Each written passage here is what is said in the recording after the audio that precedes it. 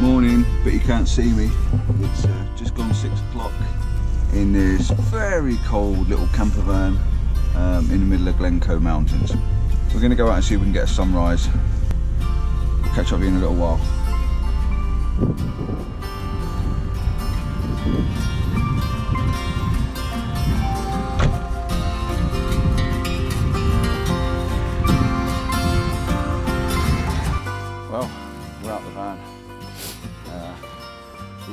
10 minutes to sunrise. It looks pretty gorgeous out here. Um, I went for a bit of a recce last night to see if I could find somewhere for a good photograph. Now I went down the bottom and took some pictures on my Fuji, um, handheld, bracketed. It was really nice. There's a little shed down there, and um, yeah, it was pretty cool. So I took some pictures of me on my Fuji. Oh, there's a lorry. Oh, took some pictures on my Fuji, and uh, I took some on my phone, and they look they look amazing. So I'm just hoping that I can put. Well, they look amazing on my phone. Um, I'm just hoping I can put them together right for you on the Fuji. Um, I had it in automatic. I know, I know, I know. Don't swear. Shouldn't shouldn't shoot in automatic, but I was only walking around for a recce. Um, I was going to go back down there this morning, but on the way back up to the van last night, there was this little boggy area, and I went to step over it. What I thought was maybe just a, an inch or so, and as I stepped over it, my second foot, or my first foot, should I say, the foot forward, went in up to my knee, and lucky I had the momentum carried forward to pull it back out again with my other leg as it went over the top. Otherwise, I'd still be there now. Uh, it scared me a bit. It made my heart stop for a second as my leg just disappeared into the ground. So I'm not going down there this morning, not until I'm awake.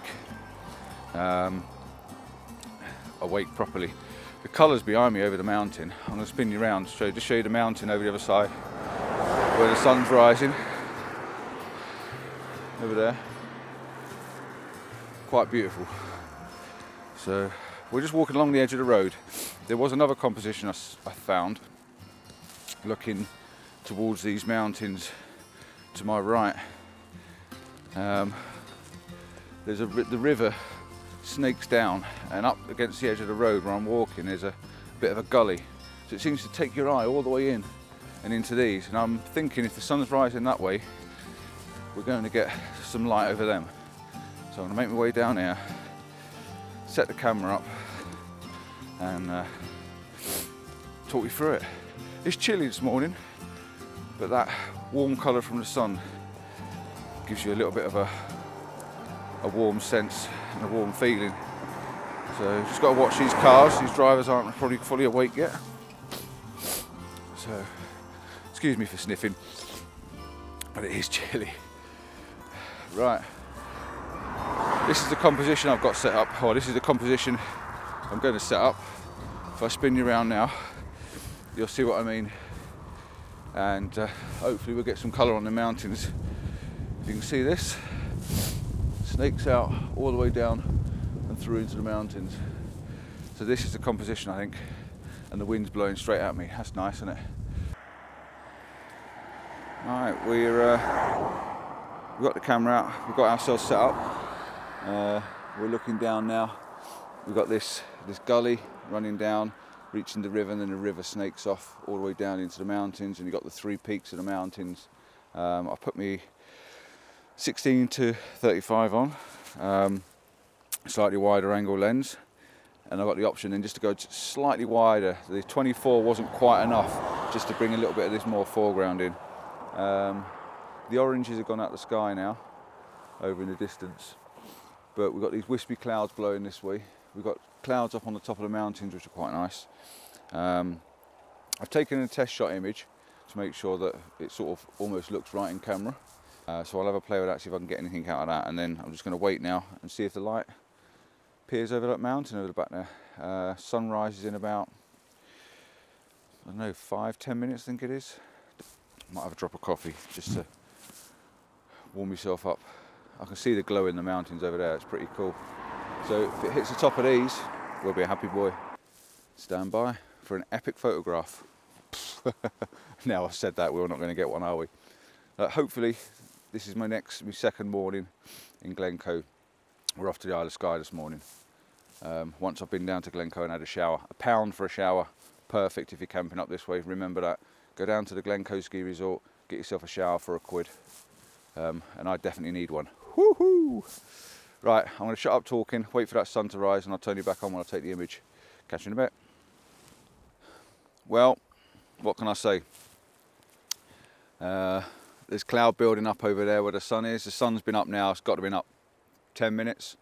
I can see the light behind the clouds, but it's just not breaking. It's not giving me what I'm looking for. It's not, it's not giving me any light on these mountains whatsoever. It's just not happening. It's not playing. Am I gutted? Honestly, yeah, mega gutted. Am I upset? Honestly, mm, yeah, a little. Um, I don't know whether sometimes landscape photographers are really honest, but I do get really pissed off and really stressed when I don't get these good images. I see so many amazing, amazing photographs, and I want to do and try and, and strive to be as good. And I'm always constantly learning. I'm constantly on the battle with myself just to just to get those really classic, nice, nice, classy images um, with good light. Um, so yeah, when I do sort of put some effort into it and it doesn't go right, I get a little bit down and a little bit upset. But within a couple of minutes, I pick myself back up again. We're going up to Skye today, so we'll see what Skye brings for us. Um, but uh, so right, um, I'll take one more here and I'll stand around for another few minutes. If I get an image with some colour in it, I'll show you that one as well as uh, you know these these couple of test shots or whatever. Um, but for now, I'm going to check out. I'll head back for the band in a minute, get myself a something to breakfast, a bit of porridge probably, and uh, I'll catch up with you a bit later on. Don't be down if you don't get a good image, even though I was up at six, standing here in the freezing cold, and we didn't get it. But one will come along eventually.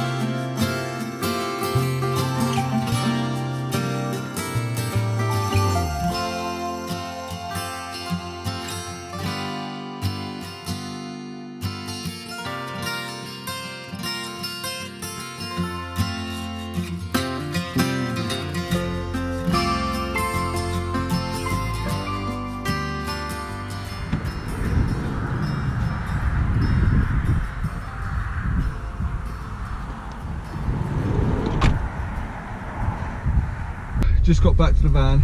The wife's up. She's got her teddy bear suit on. And there's uh is it valley walker? Commented on one of my videos a couple of weeks ago. Uh great video thanks to paul and denise. Hello paul. Wife. Anyway off to Skye. So after a shower that is. I've got to go glencoe i've had my orders. Shower and then uh, then we'll go to Skye. catch you later.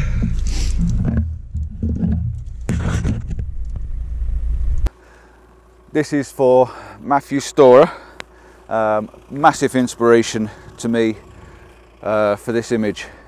Uh, he took this image when he was up in scotland over christmas and uh, he wanted this image since a kid when he first saw it on a calendar and he managed to get the image from his drone. I, I spoke to Matthew um, and he emailed me and said, look, you know, go for the image and he wants to see if I managed to get one. So I'm really pleased I managed to get it. It's a bit windy and I had to put it on sports mode just to keep control of it because it was just trying to blow away. So it might be a little bit of erratic video, but uh, I'm going to show you the image and the images of this bridge behind me. This is the bridge. The only way to get to Glencoe or through Glencoe is to cross this bridge and it's epic. And the river that runs through it and the mountain in the background just makes an absolutely stunning photograph. So the photograph come out as well as I hope it does on the camera, um, on the drone, as well as it does on the back of my phone when I was looking at it, then it's going to be pretty, pretty special. Clouds above the, the mountain, black rock or whatever you call it, and the leading line from the river and the lovely golden colours from the sunshine on it this morning. So this one's for you, Matthew Storer. Enjoy the image.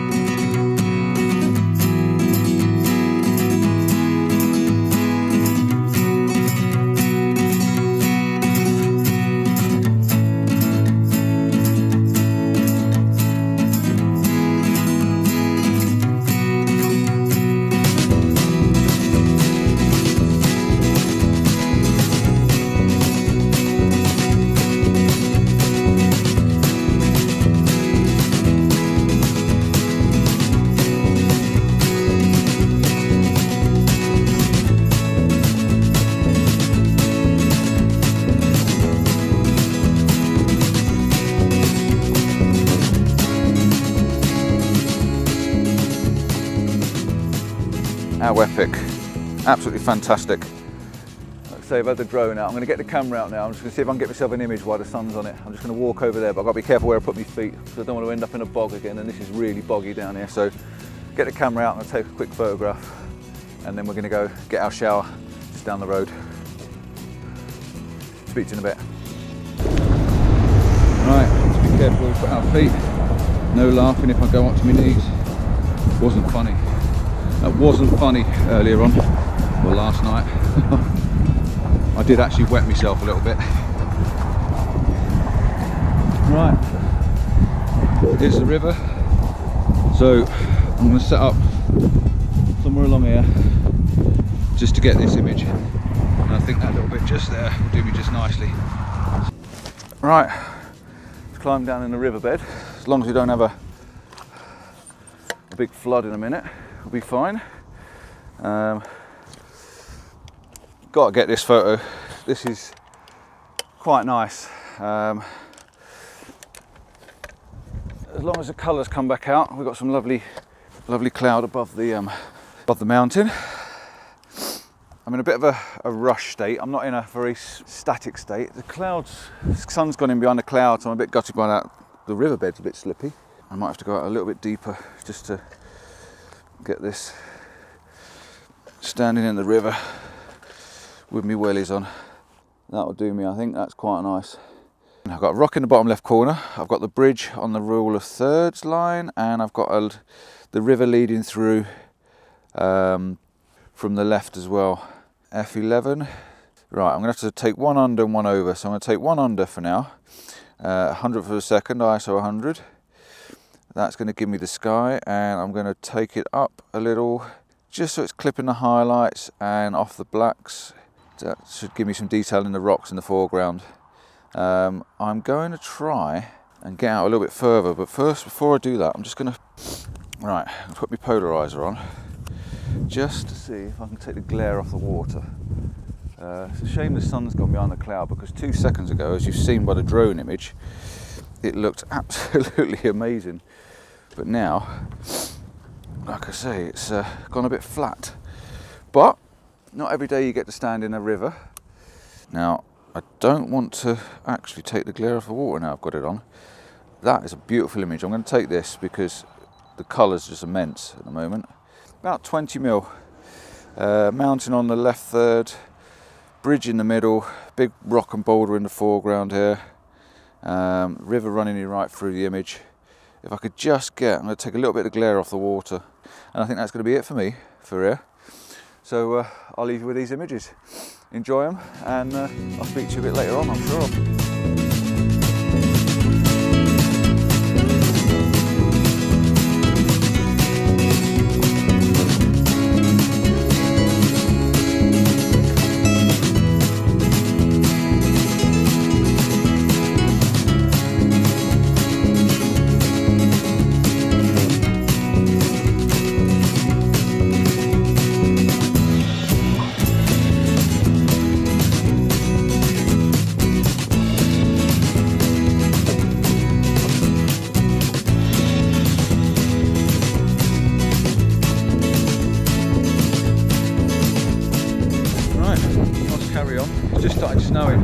Off, odd drifts of snow. So um, we've been told that the snow's on its way. Oh well, Big, could be some white photographs coming up. But for now, we must plod on. Keep going. Epic mountains, are we? right, back in the van. Shut her up and away we go. Now this is the view. Check that out. How amazing is that? So we're going to mark this one down on the map as somewhere to stop. I wouldn't park on this bit of the road, but definitely down there and walk up. We might not be doing it on this trip, but we'll definitely be doing it someday. Look at the mountains and the bridge and this leading all the way through the image. So, bit of beautiful coloured sky. How epic would that be? Anyway, come on, back in the van again. Ugh.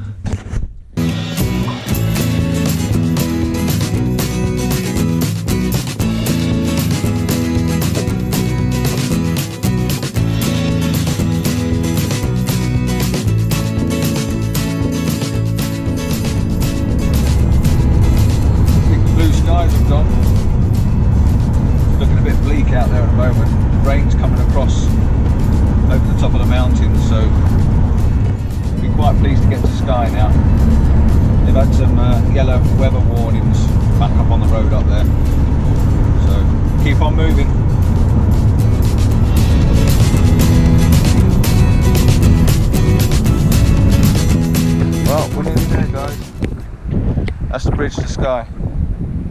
So that's where we're heading. Not far to go now. I'll see if I can get down a bit closer and I'll get a picture for you. I've taken a couple of photographs from here, but and look at the weather we're leaving. Well, or that's coming after us, right across here. That looks like it's coming to get us. But yeah, that's the bridge to Skye. Let's get going again.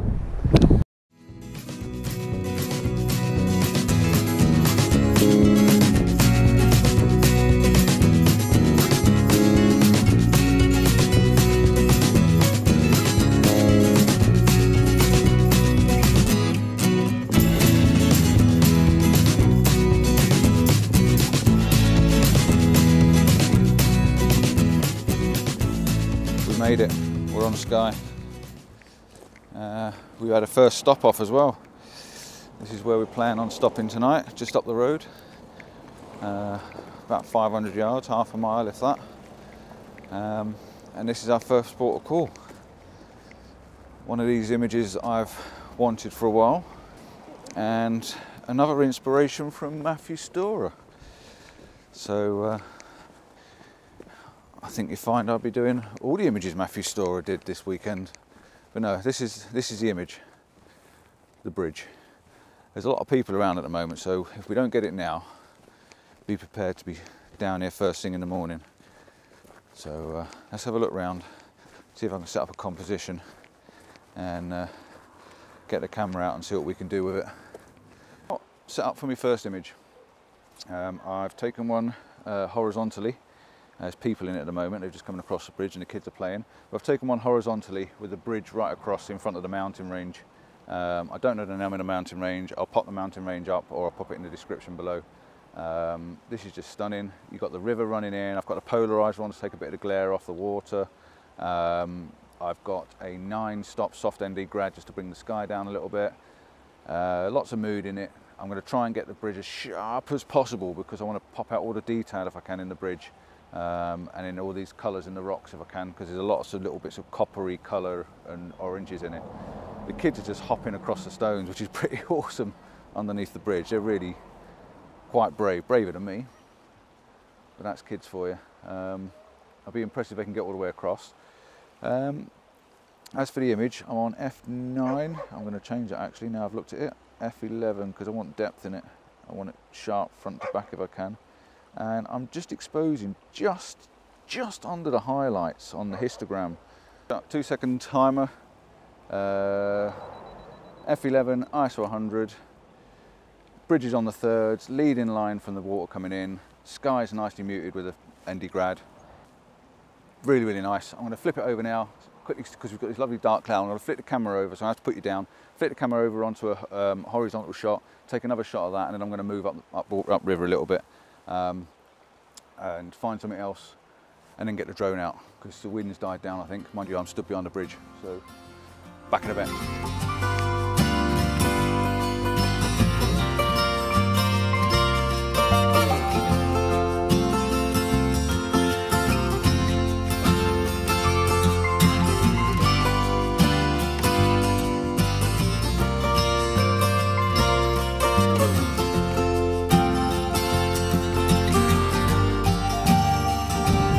Set the camera up again. I've just come up to the top, uh, right next to the road, which is really easy. If you're ever on Skye and you want this shot, the parking is about 200 yards away. You can walk along the edge of the Armco and stand exactly where I am.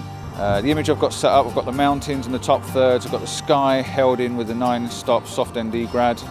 Um, I've got the polarizer on. It's taken a little tiny bit of the glare off the water, but in all fairness, I wanted to keep that, you know, the white, the reflection, just it shows a line leading up from the bottom right hand side.